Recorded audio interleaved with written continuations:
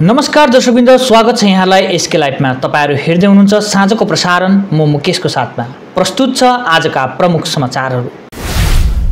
सिलगढी जङ्सनको हुने पुननिर्माण प्रधानमन्त्री नरेन्द्र मोदीले गरे भर्चुअली उद्घाटन। मुख्यमन्त्री प्रेमसिंह तामाङद्वारा विभिन्न योजना अन्तर्गत मानिसहरूलाई सहुलियत वितरण साथै सोरेङ जिल्लामा विविध कार्यालयको उद्घाटन। Joint use for the foundation लाइनद्वारा आज दुधेस्थित सन्त मेरिज ग्राम तिन पञ्चायत अन्तर्गतको दुधेमा पाँच तारे होटलको जिटिएका मुख्य कार्यपाल अनित थापाद्वारा गरियो शिलान्यास। This program is brought to you by dear साप्ताहिक लटरी केवल छ रुपियाँमा। अनि जित्नुहोस् पहिलो पुरस्कार एक करोड रुपियाँ। डियर साप्ताहिक लटरी भाग्य बदलिने बाटो। अब समाचार पूर्ण विस्तारमा। प्रधानमन्त्री नरेन्द्र मोदीले आज अमृत भारत मिसन अन्तर्गत देशका विभिन्न स्टेसनहरूको भर्चुअली उद्घाटन गरे। अमृत भारत परियोजना अन्तर्गत सिलगढी जङ्सन स्टेसनलाई पनि पुनर्निर्माण गरिनेछ। आज यसको शिलान्यास गरिएको छ। कार्यक्रममा दार्जिलिङ जिल्लाका सांसद राजु विष्ट र दुई विधायक शङ्कर घोष र सिका च्याटर्जी साथै रेल अधिकारीहरू उपस्थित रहेका थिए। सांसद राजु विष्टले मोदी सरकारको पालामा रेलवेको विकासका लागि तेह्र हजार आठ सय करोडको बजेट बनाइएको बताएका छन्। देखिए, अगर जो आपने विषय रखा, कई बार क्या होता है कि हमको पूरा तथ्य पता नहीं होता और मुझे नहीं लगता नेता होने की वजह से हर विषय में तुरंत स्पष्टीकरण देना आवश्यक है, ऐसा मैं नहीं समझता। मेरा मानना है कि ये स्टेशन की बात हुई है। कोई दुकान हटाने की या दुकान तोड़ने की बात नहीं हुई। लेकिन इसके नवीनीकरण में ऐसा कोई विषय आता है, फिर रेलवे की वो ज़िम्मेदारी रहे रहेगी जो लोग वहाँ पे ऑलरेडी हैं जिनका परिवार उस के माध्यम से चल रहा है, उनको किसी तरह की तकलीफ़ नहीं हो। और ऐसा कोई विषय होगा तो मैं ज़रूर उसके जो, लिए जो है रेलवे से बात करूँगा। लेकिन क्या होता है, आपने सुना, किसी ने कुछ बोल दिया और मैं उसका उत्तर दूँ, वो अन्य से कोई विषय ही नहीं है, लेकिन वो विषय बन जाता है। सो आने दीजिए, समय ऐसा कोई स्थिति होगी तो मैं ज़रूर जो है उनकी आवाज़ बन के खड़ा रहूँगा। यार, आप लोग ये बोलते हो ना, अनित थापा जी पहाड़ में बार बार अच्छा कर रहे हैं। कोई एक अच्छा काम आप बता दो जो अनित थापा ने किया हो या पश्चिम बंगाल ने किया हो। आपको याद है, आपकी मेमोरी में कुछ है? ब्लैंक है। मैं एक उदाहरण देता हूँ। अभी जो तिस्टा की त्रासदी हुई थी, ममता दीदी ने ट्वीट किया था ना, केंद्र ने कुछ नहीं दिया और मैं पच्चीस करोड़ दे रहा हूँ। अनित थापा जी से पूछो, वो पच्चीस करोड़ रुपए गए कहाँ? आपने कभी उन जनताओं से पूछा जो तिस्टा में जिन लोगों के 500 से ज़्यादा घर बहे हैं 11 लोगों की मौत हुई है या लापता है, उनके परिवार से कभी आपने पूछा वो 25 करोड़ रुपए गए तो कहाँ गए? ममता दीदी ने तो ऑफिशियली डिक्लेयर किया, वो ट्वीट भी है ऑफिशियली और जहाँ पे जो है उसको आपदा घोषित करती 120 करोड़ रुपए उन जनता को मिलता, उन 500 परिवार को मिलता। वो आपने किया नहीं। आपने 25 करोड़ रुपए जो है घोषणा कर दी, लेकिन वो 25 करोड़ रुपए बंगाल से चला, लेकिन पहाड़ तक नहीं पहुँचा, ये सच्चाई है। दूसरी बात, उन्होंने क्या अच्छा किया? मैं फिर पूछता हूँ, कोई एक काम बता दो जिसमें जीटीए का पैसा लगा हो या पश्चिम बंगाल का पैसा लगा हो? आज जितना भी पानी का काम चल रहा है, ढाई हज़ार करोड़ से ज़्यादा का जो है परियोजना तो पहाड़ में चल रहा है, वो केंद्र की देन है।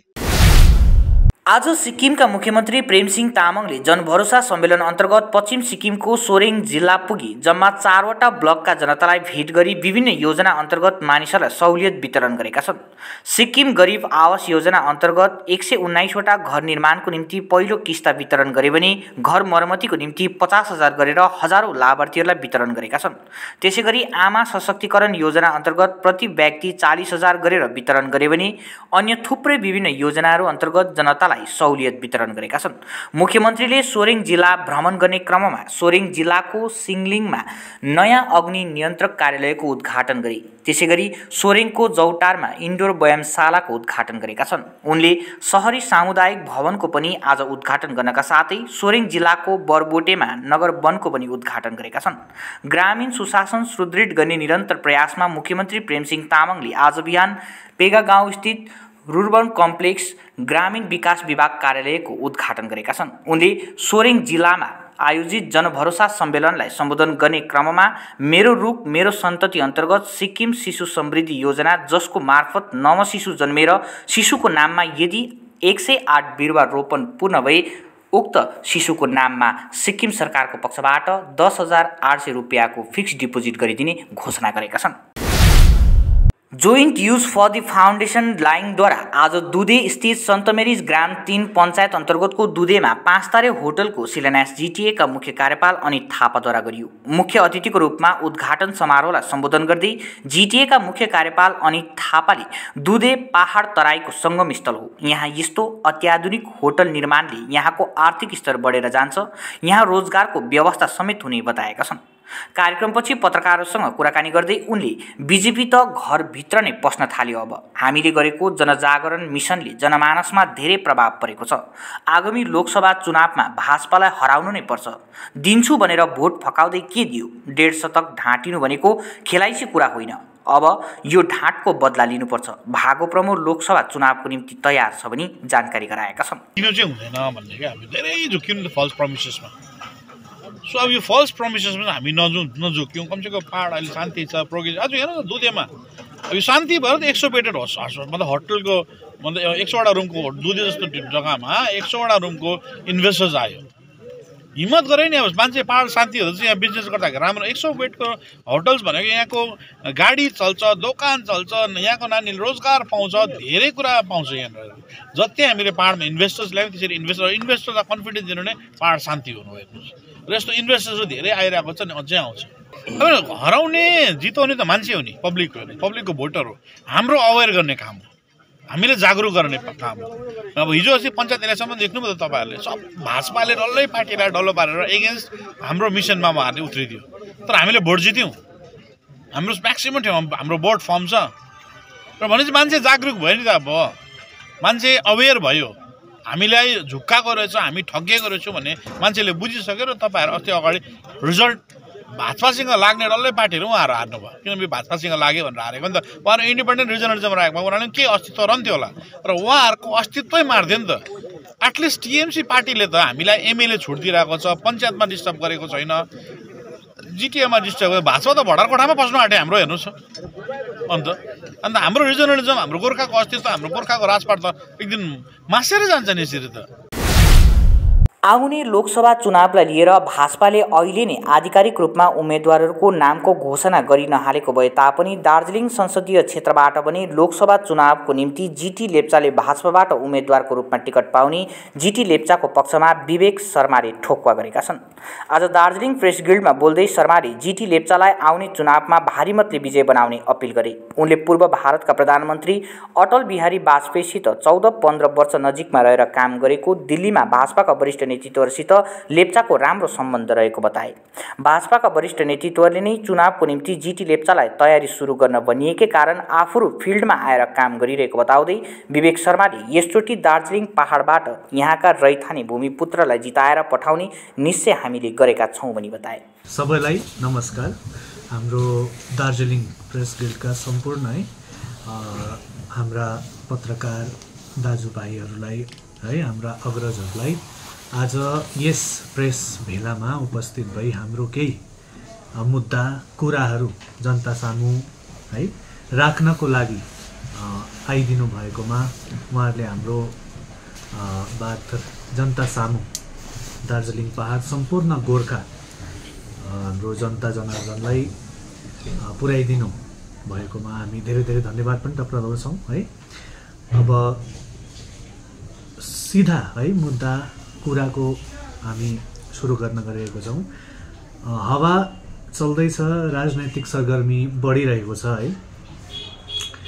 हामी दार्जिलिङ पहाडको मतदाता हौँ जनता हौँ है।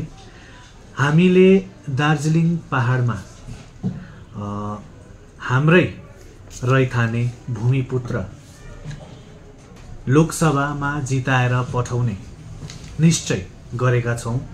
है। अनि त्यसर्थ यसै सन्दर्भलाई लिएर हामी काम गरिरहेका छौँ।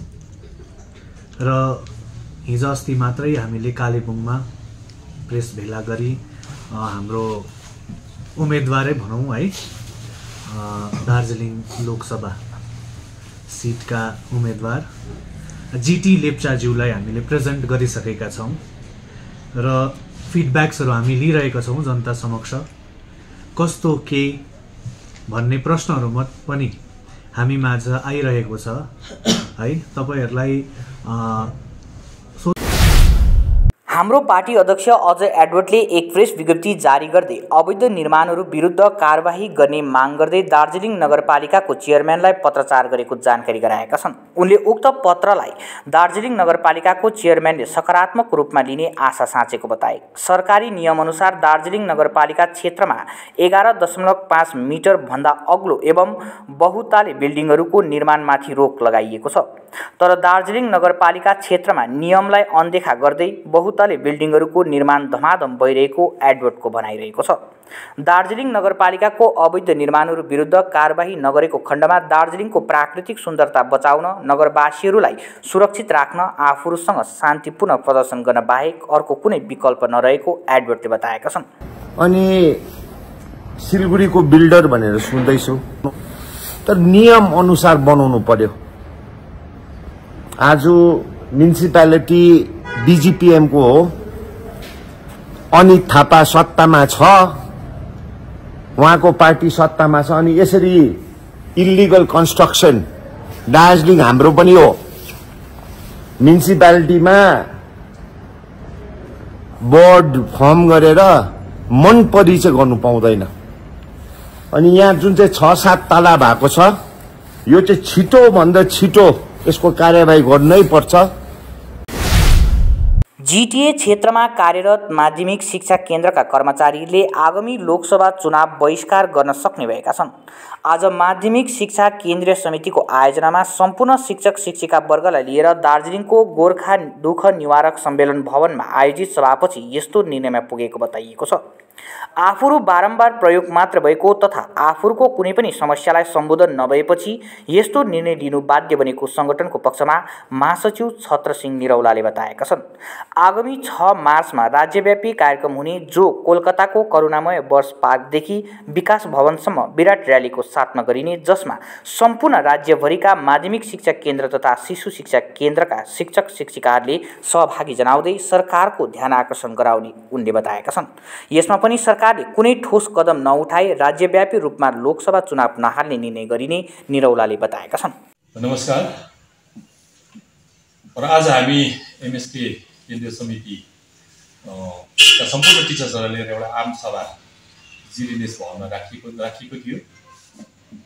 र एमएसके माध्यमिक शिक्षा केन्द्र दुई हजार तिन दुई हजार चार स्थापना कालदेखि नै हामीले धेरै धेरै जटिल समस्याहरू भोग्दै आइरहेका थियौँ। र आइरहेका छौँ आजसम्म पनि। र यतिको समयसम्म एमएसकेका हाम्रा शिक्षक शिक्षिका वर्ग वर्गहरूले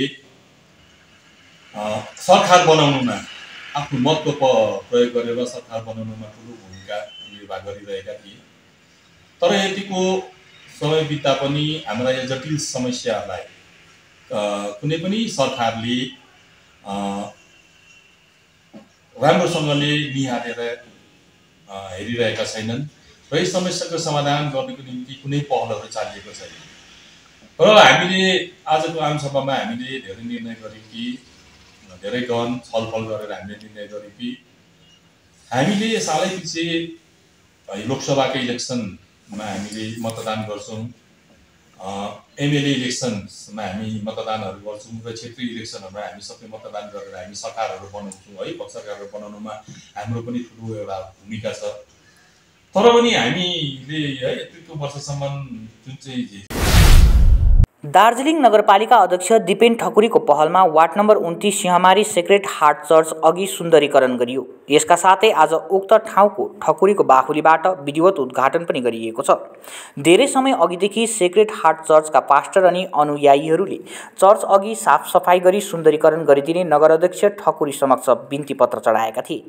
सेक्रेट हार्ट चर्च अघि धेरै फोहोर मैलाहरू थुप्रिएको कारणले चर्चमा प्रार्थना गर्न आउने अनुयायीहरूलाई धेरै कष्ट भइरहेको साथै चर्चमा कुनै पनि कार्यक्रमहरू गर्नमा धेरै समस्या भइरहेको समस्यालाई विशेष ध्यानमा राख्दै वर्तमान दार्जिलिङ नगरपालिका अध्यक्षको पहलमा सेक्रेट हार्ट चर्च अघि सुन्दरीकरण गरिएको छ।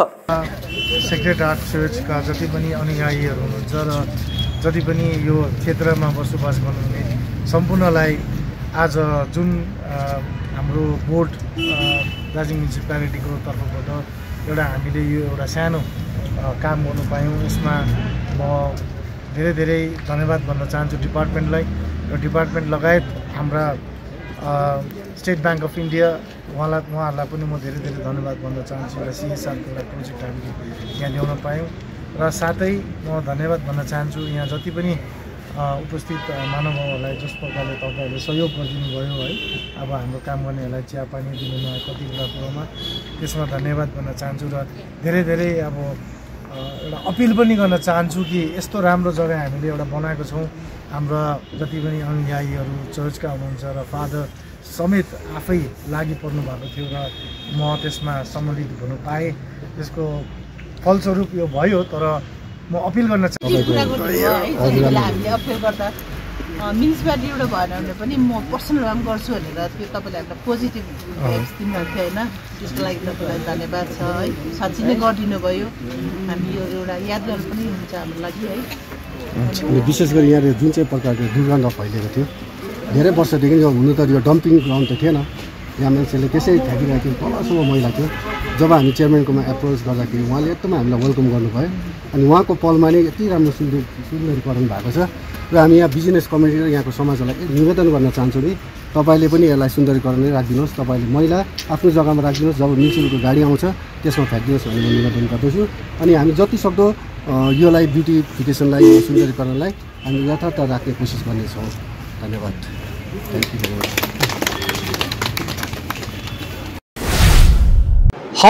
त समाचार भन्ने क्रममा पालो भएको छ छोटो विश्रामको।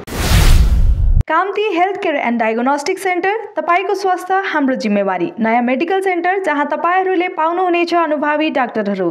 आन्तरिक चिकित्सा स्त्री रोग इएनटी कार्डियोलोजी ग्यास्ट्रोएन्ट्रोलोजी त्वचा विज्ञान सामान्य शल्य चिकित्सा सबैको जाँच यहाँ गरिन्छ जहाँ तपाईँले स्वास्थ्य जाँच प्याकेज सहित विशेष स्वास्थ्य सेवाहरू पाउनुहुनेछ। कलर डप्लर स्टडी प्याथोलोजी सेवा ultrasound ECG digital X ray EEG आदि उपलब्ध छन् जहाँ एक उच्च स्तरको निदान केन्द्र छ जहाँ नवीनतम उपकरण र सेवाहरू उचित मूल्यमा उपलब्ध छन्। हामीसँग सम्पर्क गर्नुहोस् Kanti health care near Vega circle mall opposite Mahindra showroom Siliguri. Contact nine one three four three four three four zero four. इस लड़की का पहले परफॉर्मेंस था।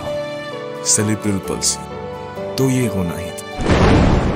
इस लड़के का ऑटिज्म बात नहीं कर पाता है। ADHD ये भी एक बीमारी है। सूत्रा के साथ। वो सिर्फ़ सर ऊँचा करके खड़ा नहीं है।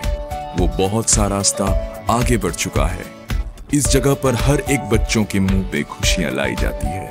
वो करता है और कर सकता है।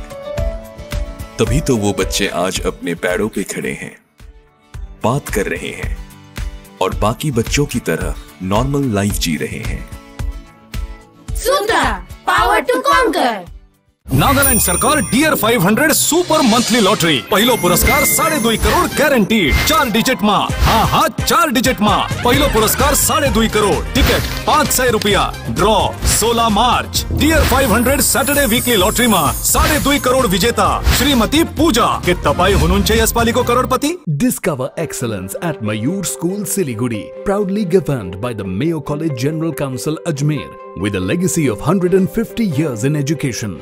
Our 8 acre lush green campus and AC equipped smart classes offer cutting edge learning experiences. Mayur fosters a strong sports culture. Our CCTV covered campus and GPS equipped buses provide utmost security to our students. Admissions open for grade 1 to 7 with hostel facilities. देखिए कल Nancy के school में fees भरने का दिन है अब मैं क्या करूँ? ऊपर से कल बैंक की भी छुट्टी है जरा अपना मोबाइल देना इस मोबाइल में अब क्या करने वाले हैं मणप्पुरम लॉकर में जो सोना रखा है वो कब काम आएगा? ओह मैं तो भूल ही गई थी। अपनी ज़रूरत के समय कभी भी हम अपने सोने के मूल्य का पैसा अपने अकाउंट में पा सकते हैं। सोने, सोने को मणप्पुरम लॉकर में रखने से हम भी स्मार्ट बन सकते हैं। अपना गोल्ड मणप्पुरम लॉकर में रख। सब लोग ऐसा स्मार्ट बनो। कहीं किधर भी स्मार्ट बन जाए। Manappuram online gold loan smart है। क्रिटिकल लाइफ सपोर्ट लग गए ইনজেকশন আপনার বাড়ির জন্য কোন টিএমটি মান নেব ম্যাডাম? এখানেও। আপনি সার্জারিতে মন দিন। বাড়ি তৈরি সঠিক টিএমটি বার বেছে দেবো আমরা। এসে গেল এসআরএমবি রিয়েল বিল্ড সঠিক দামে পাবেন খাঁটি বিল্ডিং মেটেরিয়াল থেকে সেরা পরামর্শ। বাড়ি তৈরির অপারেশন সাকসেসফুল রিয়েল বিল্ড বাড়ি তৈরির real guide If life is an art, then Dwarika Prime is a canvas. Wake up to the breathtaking view of lush green hills every morning. Experience state-of-the-art living with an open gymnasium and a yoga deck on the terrace. Conveniently located near the bustling business hub on Savok Road. Ready to move in, budgeted flat. The baby pool, landscape garden, rooftop gazebos, children's play area, temple, community hall, and terrace garden. Spacious bedrooms for your comfort and relaxation. Dwarika Prime. Call 9733399970. Business बढ़ाना गुड़िया को पढ़ाना या Mrs के साथ vacation लो Muthoot finance gold loan भरोसा India का भरोसा इंडिया का मुथूट फाइनेंस भारत का नंबर वन सबसे भरोसेमंद financial services brand gold loan के लिए अभी कॉल करें one eight hundred three one three one two one two Punjab state dear 200 monthly lottery पहलो पुरस्कार एक करोड पचास लाख गारंटेड पुरस्कार. टिकट को मूल्य दुई सय रुपियाँ. पहिलो पुरस्कार केवल बिक्री भय का टिकट टिकटबाट যদি বাম লাগানো আপনার জন্য নর্মাল হয়, তাহলে হতে পারে আপনার হাড়ের শক্তি নর্মাল নয়। ওপর থেকে কিছু লাগালে ভেতর থেকে হাড়ের শক্তি কীভাবে বাড়বে? তাই নতুন হলিক্স উইমেন্স প্লাস যা ক্যালসিয়াম আর ভিটামিন ডি এর হান্ড্রেড পার্সেন্ট ডেলি রিকোয়ারমেন্ট পূরণ করে আর ছ মাসে হাড়ের শক্তি আরও ভালো করে।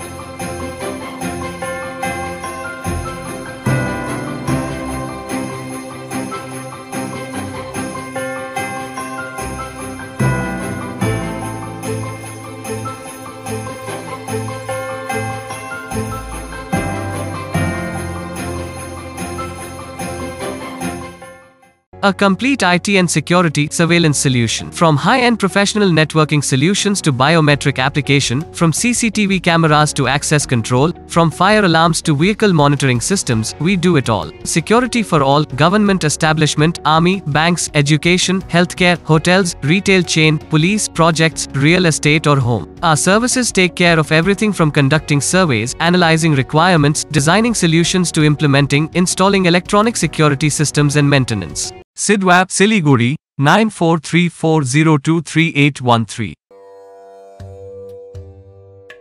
गुरुजी मैं करोड़पति कब बनूँगा? बताता हूँ पहले पाँच सौ दो। लो इनको क्यों 500 दे?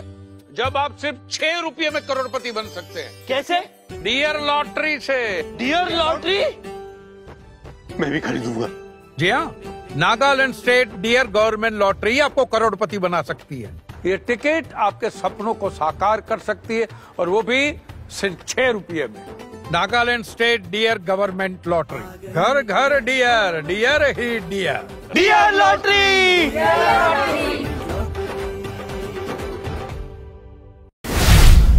विश्रामपछि समाचार पूर्ण विस्तारमा।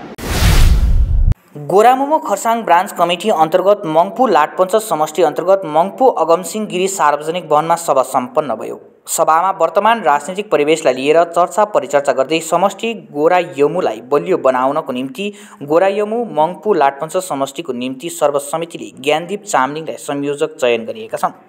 सभापछि पत्रकारहरूलाई सम्बोधन गर्दै गोरा यमु केन्द्रीय समिति सदस्य प्रवेश राईले गोरामोमो अध्यक्ष मन घिसिङले गोर्खा जातिको निम्ति निरन्तर आफ्नो कार्य गरिरहेको साथै यही मात्र नभएर पहाडका अन्य समुदायहरूले पनि अध्यक्ष मन घिसिङप्रति आशा साँचेको बताए। उनले हामी आशावादी मात्र होइनौँ तर विश्वस्त छौँ। गोर्खा जातिको सपनालाई अब विपना बनाउनु पर्छ भनी बताए। आज गोर्खा राष्ट्रिय युवा मोर्चा केन्द्रीय समितिको जुन चाहिँ एउटा निरन्तर एउटा सभा चलिरहेको छ। आज आएर यो सभा सम्पन्न भयो। र विगत दिनदेखिको चलिरहेको यस सभामा वर्तमान पहाडको राजनीतिक स्थिति सम्बन्धी धेरै छलफल भयो। र वर्तमान भारतवर्षभरि अहिले जुन एउटा चुनावको माहौल छ यो माहौल धेरै नजिकिँदै जाँदैछ। र यो माहौलले पहाडलाई अलग्गै राख्न सकेन यो गोर्खा जातिलाई अलग्ग राख्न सकेन। विशेष आज आएर हामीले महसुस गरेको कुरा चाहिँ के हो भन्दाखेरि यो गोर्खा जातिले मात्र नभएर यो भूभागमा बसोबासो गर्ने अन्य अल्पसङ्ख्यक समुदायहरूले पनि आज आएर यो हरियो झन्डापट्टि फर्केर हेरिरहेका छन्। कि यो हरियो झन्डाले जुन आज भारतीय गोर्खा भारतीय जनता पार्टीको एउटा एनडिएको लाइन्स भएर काम गरिरहेको छ यो गोर्खा जातिको यो माटोको मुद्दालाई आज कहाँसम्म लगेर गयो र के गर्दैछ भन्ने एउटा जिज्ञासा चासो मात्र नभएर एउटा आशा अनि एउटा यो हरियो झन्डामाथि यो हरियो झन्डाका अध्यक्ष श्रीमान मन घिसिङज्यूमाथि र यो हरियो झन्डाका अन्य नेतृत्वहरूमाथि जुन एउटा विश्वास राखेर उनीहरूले हामीपट्टि फर्केर हेरिरहनु भएको छ। हामी ग्रामीण भेगका युवाहरू पनि कमी छैनन् भन्ने सन्देश दिँदै बिजनबारीकी रुचिका थामीले इस्ट इन्डिया फेसन ग्ल्यामको खिताब जितेकी छन्। पारी प्रोडक्सन हाउसले सिलगढीमा आयोजना गरेको यस प्रतियोगितामा उनले उपाधि हात पार्न सफल बनेकी हुन् भने उनी बिजनबारी क्षेत्रबाट फेसन सो जित्ने पहिलो प्रतियोगी हुन्। माउन्ट एभरेस्ट विजेता तथा संसारको सर्वोच्च शिखर माउन्टमा भारत देशको राष्ट्रिय ध्वजा फरफराउने पर्वतारोहण तेन्जिङ शेर्पालाई भारत रत्नको सम्मान दिनुपर्छ भन्ने मागको आवाज फेरि उठेको छ। बुद्धिस्ट एसोसिएसन अनि मोनेस्ट्री तुङसुङ समूहले आज तेन्जिङ शेर्पालाई भारत रत्नको सम्मान प्राप्त हुनुपर्छ भन्ने सरकार समक्ष माग राखेका छन्। आज हामी यहाँ प्रेस गिलमा आएको कारण चाहिँ किनकि हाम्रो तेन्जिङ शेर्पाले भारत रत्न पाउनुपर्छ भनेर हामीले शेर्पा समुदायले बहुत पहिलादेखि नै हामीले आवाज उठाएको तर आजसम्म पनि केही हाम्रो लागि केही कसैले पनि कुनै किसिमको एक्सन नलिएको जस्तो लाग्दाखेरि चाहिँ आज मजबुरन नै आज तपाईँहरू जनताको समक्ष आउनु कर लागेर हामी यहाँ आएको हौँ। यहाँ हाम्रो हामी चाहिँ आज Sherpa Buddhist association cum monastery Darjeeling कुङसुङबाट आएको यहाँ हाम्रो प्रेसिडेन्ट शेर्पा बुद्धिस्ट एसोसिएसनको प्रेसिडेन्ट हुनुहुन्छ निमा निमा छिरिङ शेर्पा। एडभाइजर हुनुहुन्छ निमा छिरिङ शेर्पा। उहाँ पनि यहाँ जोइन्ट सेक्रेटरी हुनुहुन्छ। निम कार्की शेर्पा। म चाहिँ एडभाइजर हो भूपेन्द्र शेर्पा आज यहाँ आएको कारण चाहिँ अब हामीले बहुत पहिलादेखि नै तपाईँको अब त्यो इतिहास चाहिँ म पहिलादेखि भन्न चाहन्छु। खास गरेर हाम्रो दार्जिलिङको जति पनि बुद्धिजीवीहरू भयो हाम्रो नेताहरू भयो उहाँहरूले सुनिदिनु हुन्छ जस्तो लाग्यो मलाई। किनभने आज जब भारत रत्नको प्रोग्राम पहिला तिस वर्ष आजभन्दा तिस वर्ष अगाडि कमान्डर जोगेन्द्र सिंह नेभीको एउटा कमान्डर थियो। उहाँले नै एउटा चिठी लेखेको थियो सरकारलाई कि शेर्पाले पोखरेबुङ नागरीदेखि एवनग्रो पुल बजार हुँदै मुन्डा सिडर सोनादा लगायतका ठाउँहरूमा जान सकिने बाटोको इन्टेक छेउ पर्ने बालासन खोलामा स्टिल ब्रिज बनिएपछि वाहन चालक तथा सर्वसाधारणलाई धेरै सुविधा भएको छ। प्रधानमन्त्री ग्राम सडक योजनाबाट पाँच सय बहत्तर लाख रुपियाँको लागतमा पैँतालिस मिटरको उक्त पुल निर्माणपछि यातायातमा सुविधा हुनका साथै ग्रामीण पर्यटन समेत विकसित हुने सुदर्शन भण्डारीले बताए। लोकप्रिय पिकनिक स्पट रहेको यस स्थानमा स्थापित होमस्टेको माध्यमले एकाधिक परिवारको बेरोजगार समस्या पनि समाधान हुने अनुमान लगाइएको छ। तपाईँलाई नमस्कार। यो जुन हाम्रो पुल बजारको रोड नागरीबाट सुनद जोडिने जुन रोड हो यो जिटिएद्वारा यो स्टिलको पुल निर्माण गरेर हामीलाई धेरै सुविधा भएको छ। र सुनद खरसाङ आदिका जनताहरूलाई पनि यो बाटोले धेरै सुविधा भएको छ र यो बाटोले सुनदन नागरी जोड्ने काम भएर धेरै राम्रो भएको मैले महसुस गरेको छु। र यो वैकल्पिक बाटोहरू त धेरै छ तर पनि यो हाम्रो राङबाङ बालासनको पुल पहिला थिएन र धेरै असुविधा भएको थियो।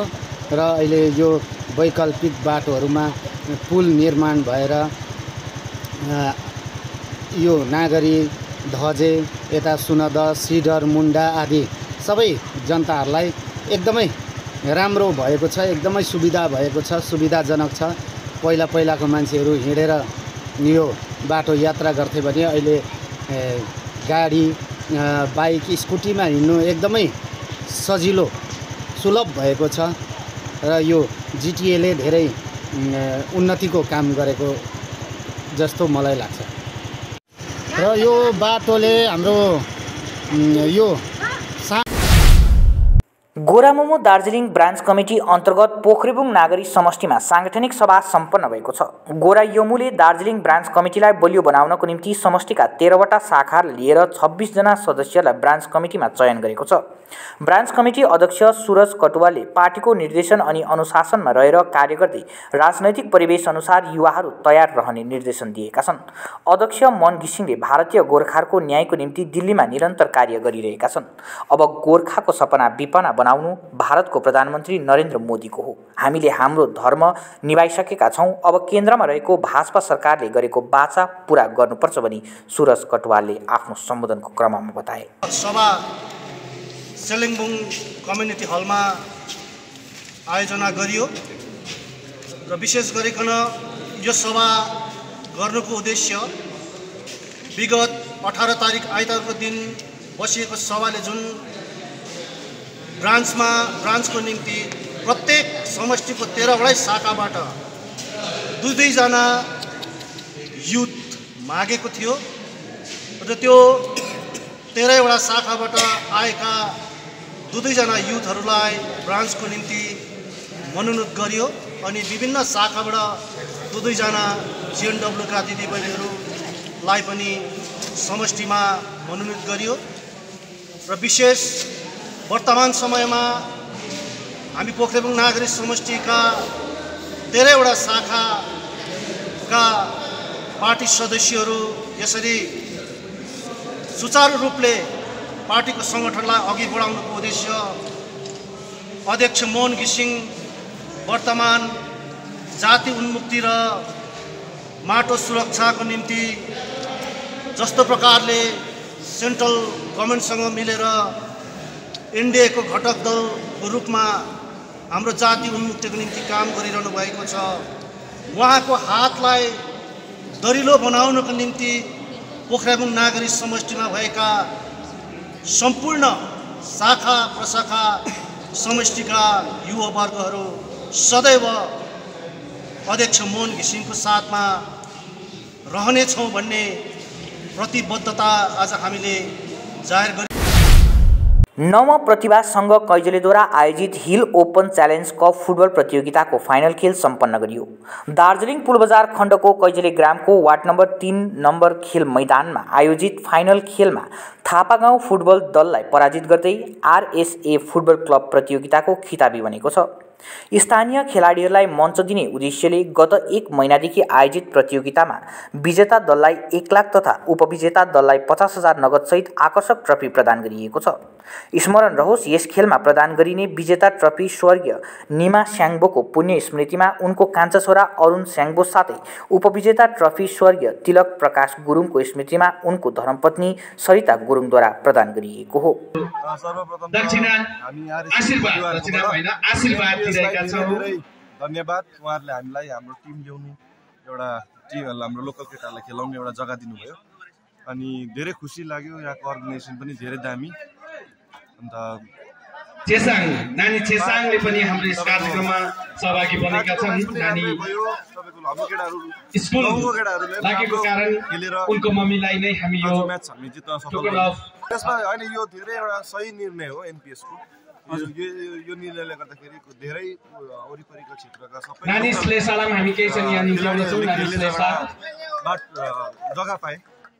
दिनुपर्दा त हाम्रो सबैभन्दा टाढा भएकोले गर्दा उनको मम्मीलाई हामी दिइरहेका छौँ यो स्मृति चिन्ह। उहाँले- उहाँलाई नै हामी हाम्रो टिमको त नानीलाई यो आशीर्वाद दक्षिणा हामी दिइरहेका छौँ। रेटिङ गर्नु पर्दाखेरि अब सबैजना ओभरअल राम्रो पर्फर्मेन्स एकदमै राम्रो जे एक्सपेक्ट गरेको थियौँ नि आज सबैजना जतिजना खेल्ने थियो हाम्रो होइन। हाम्रो प्लेयर्सहरूबाट त्यति नै एक्सपेक्टेसन गरेको थियौँ त्यति नै पायौँ।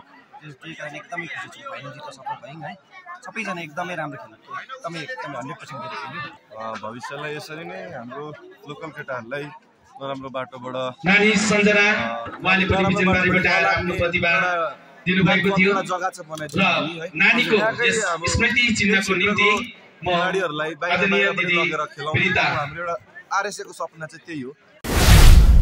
हवस् त दर्शकवृन्द आजलाई यति नै। भोलि फेरि साँझको प्रसारणको साथ उपस्थित हुने नै छौँ। तबसम्मको निम्ति हेर्दै गर्नुहोला यसकै लागि छ रुपियाँमा एक करोड एक करोड छ रुपियाँमा केवल छ रुपियाँमा एक करोड। के? एक करोड केवल छ रुपियाँमा? किन्नुहोस् डेढ साप्ताहिक लटरी केवल छ रुपियाँमा। अनि जित्नुहोस् पहिलो पुरस्कार एक करोड रुपियाँ। डेढ साप्ताहिक लटरी भाग्य बदलिने बाटो।